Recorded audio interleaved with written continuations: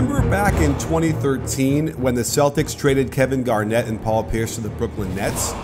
Well, amidst all the players and picks, Boston included the 2017 first rounder. And in a draft day trade, the Nets used that 27th pick to select Kyle Kuzma out of Utah, only to throw him into the deal that sent D'Angelo Russell and the Mozgov contract dump to Brooklyn. Little did anyone know that the 6'9, 220 pound three year player out of Utah would have such a big impact.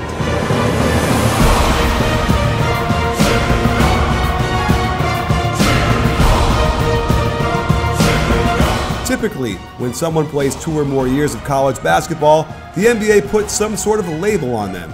Too slow, too small, not skilled enough. As if not being a one and done is some sort of stigma that makes teams wary of upperclassmen. Yet, time and again, it's these types of players who enter the league already polished, mature, and ready to help immediately. It's worth looking at his Utah career to fully understand why his play thus far in the pros has been a bit surprising. A brief look into his highlights in college shows you glimpses of what he could do. He had good post moves, could drive to the hoop, showed nice court vision, and occasionally would let a shot go from deep.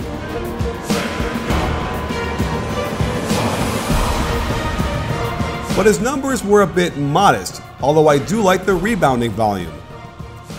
His role in the Utah offense was a bit old school under former NBA player Larry Krystkowiak, spending a lot of time setting ball screens, posting up, and getting putbacks. But there was enough evidence of his ability to suspect that once he got on the floor with other pros, it would unlock more of his potential. One reason is that there weren't a lot of creators on his team, guys that could break down the defense, force rotations, and allow him to attack off the catch. But it didn't take long for Kuzma to adjust to the speed and spacing of the NBA game. Suddenly, with better talent and shot creators around him, he had a lot more space to work with. In six preseason games, he averaged 17.3 points, 4 rebounds, 1.8 assists, and until the last game was scorching from downtown at 57%. With good playmakers and a spread offense, he's been able to attack closeouts off of spot up shots and drives, and he's shown enough flashes that Luke Walton will be forced into some tough lineup decisions. He is the quintessential small ball four, something we know Luke Walton favors, and I would not be surprised if Kuzma slowly starts taking away minutes from Julius Randle. Another revelation has been isolations. In college, he hardly ever ISO'd and was not good at it. But so far, he's been able to showcase some terrific individual moves all around the court.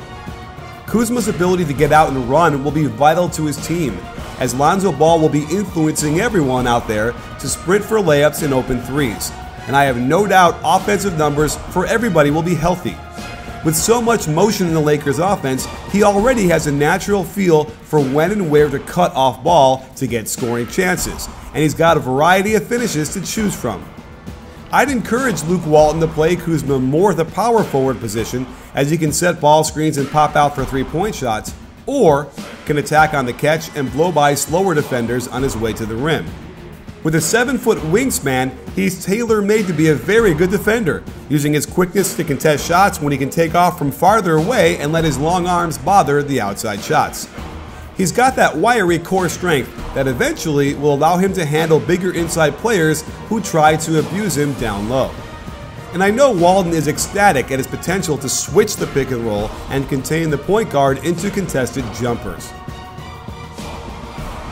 So, sports fans, I have a really great opportunity to bring in Clint Parks, who is a basketball skills trainer and founder of Clint Parks Skills Academy in Southern California and can be followed at Brotherhood05 on Twitter. And he happens to work with Kyle Kuzma on the court. So, Clint, thank you so much for joining us, and uh, I'm really excited to talk about his development. Thanks for having me on, Coach Nick. Really appreciate it. You got it. Well, you know, so you've you've known Kyle Kuzma for a while now, and I think that the biggest question everybody here has is how has he gone from you know what he had played at Utah and his style to it seems like a pretty big you know difference to what he's doing on the court for the Lakers so far in the preseason. So, can you give us insight into how that metamorphosis happened? I think one of the biggest keys is just continuing to be um, relentless and diligent in his work, as he has alluded to in some interviews recently, and just, I mean, over time, when you continue to put that work in, and it just it leads to more confidence, and just the NBA game also helps as well with the spacing and how much room you have to operate and as an offensive player, and just a lot of it is just confidence, confidence and self belief himself, knowing that he can go go out no matter who's on the court and get it done at a high level. And I guess it's a stylistic thing, but you know, because it seems to me like what I saw in college in the clips I've seen so far, they pretty much played him like a like a very traditional power forward, right? He's always looking to set a ball screen, doesn't really pop out for three on those ball screens, and then you know posting up down low a little bit. Is that how it felt like when you watched him in college? I mean, he yeah, you could say he was more of a traditional forward, but Coach Stoyak and the rest of the staff did a really good job developing him and um, teaching him. Uh, I mean, the small nuances of the game, especially preparing him for the um, the next level. Because Coach K has experience. I mean, obviously he played in the league and coached in the league as a head coach, so that's very rare. That's one of the biggest things, especially in his jump shot. Like they never they never put him in a position where he couldn't shoot. I think he's just more confident right now, and, and that's a product of what we're seeing. Uh, is there anything that you feel like he did over the summer or as he prepared for the NBA season that improved his shooting? He shot around, I think, 31% in college from the three point line, which is shorter. So do you feel like there was something that you guys did maybe over the summer that, that helped him? I, I think he's just continued to um, put in reps. It's something that mm-hmm. um, his mentor, his prep school coach, um, Vince Bracio, has, has talked about with him a lot as well. We both have is just um, continuing to put in work and Kyle is, um, in my opinion, he's the hardest worker in the draft. And I mean, the results um, that he's had up to this point from summer league, even from the combine to preseason, I mean, and they kind of show that. Like he's just continued to put in work. He's not afraid to um, put on his hard hat every day and just get after it. And I always tell people that one of the biggest things for a kid leaving co- uh, coming from college to the pros is that you know he graduated, he had a year left, but he finished his degree he doubled up on a lot of classes last year um, to make sure he was done. And so now, without having that stress to worry about class, it's it's just all hoops all day. Like you're just worried about your game. Like that's your job. There's no more classes to worry about. There's no more tests to worry about. The only test is your game. Like that's your game every day is to wake up and figure out how I'm gonna get better and how I'm gonna make my my weaknesses stronger and my strengths even stronger as well. So I mean, that's what we're seeing right now from him. Well, let's look at this Lakers season as we wrap up here. And uh, what do you see him doing this year? Uh, what are his goals overall, and, and how will he accomplish those? I mean, for me, it's just um, continue, um, just to continue to put the work in every day, and then you let the chips fall where they may.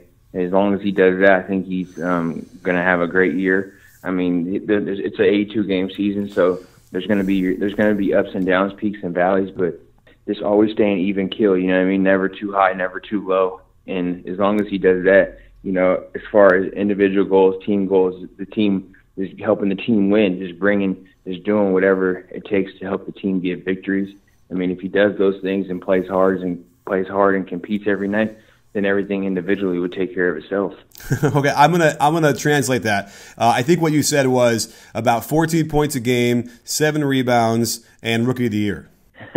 I mean, that would be if, that, if that's the end result. I mean, that that would be great. I think he's the best rookie in basketball. Like that's that's that's my personal opinion. And I think, but he has to go out there and, and just play hard every night and, and compete at a high level and and just that that's what the league is about. You know, I've, I've had kids get to the league that are in the league now, and I, and I've seen what how what's made them successful.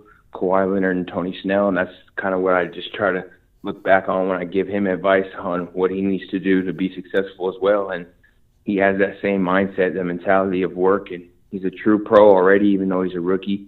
He understands where he's at and where, where, what he needs to do to get where he wants. I mean, I'm just really excited, especially I know the city of LA, the bas- people that are in the basketball, how much they care about um, the Lakers and the real fans. They're just going to love him because he's going to bring it every night. You can always count on that. Well, thank you so much for bringing it for uh, us on the show today, Clint. And uh, don't forget to check out uh, Coach Parks and his basketball skills training over at the Clint Park Skills Academy uh, out here in Southern California. So, uh, Coach, thanks for joining us, and uh, we'll talk soon and we'll see how it plays out. Thanks for having me on, Nick. Really appreciate it. We don't know what will happen with Kyle Kuzma this year. Will Lonzo Ball get all the hype and the Rookie of the Year votes? Will Julius Randle continue to get more minutes? Or can Kuzma earn more minutes, score at a higher rate, grab rebounds, and defend, and help the Lakers surprise everyone by winning 35 or more games? I know we've only seen him in the Summer League and preseason, but it's enough for me to see that he's a special player that plays the right way and will help his team win games. And that, sports fans, earns him a spot as my predictive Rookie of the Year. Sports fans, to see more of our great NBA content and analysis, make sure to hit the subscribe button, but also click the bell and adjust your settings so you can get an alert the second our videos drop. Because trust me, you're going to want them hot and fresh. You in?